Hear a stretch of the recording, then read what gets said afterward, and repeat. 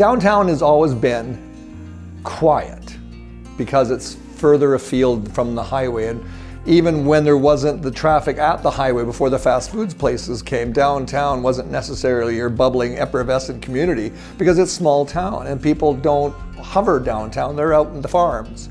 To get people downtown, you have to bring them downtown. You have to give them a reason to come downtown. And the businesses that are down here do that really, really well. They want to have you down here. They'll have you know, Boys and Girls Club will have a hot dog thing, or Shepherds will bring people down on con contractor days, and the girls at the Frugal Frocks, they'll do all kinds of things. So people are always trying to make people come downtown. This part of town, it's all mostly owner-operators, and they're all small businesses.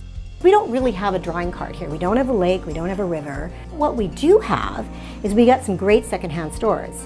We've got three thrift stores, we've got three consignment stores, and four antique stores in the downtown or just on the outside of the downtown area.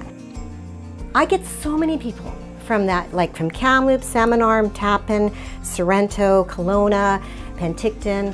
They drive up here for the day because they already know, they know Armstrong is a destination. It's like, you know, we got some great stores here. Come in, spend the day, take a road trip check us all out, have some lunch, stop somewhere, and then, you know, be on your way, whether it's to the lake or the, to the river.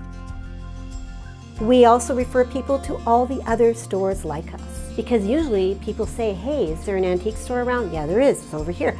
Okay, that's great. And that's where the collaboration is. All of us are different, we're not competing against each other, we all offer something different.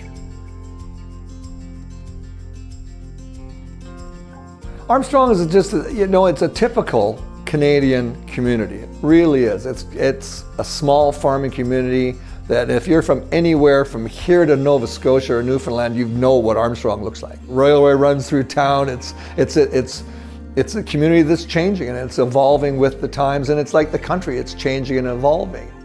It's a community that's welcoming and, and accepting and friendly, definitely friendly uh, yeah, I wouldn't hesitate to tell anybody to live here. I really would. Well, we've been all over the world and we always come home. You know, we always come here to live. We can choose to live anywhere and we choose to live here because it's God's country, right? This is where you want to be.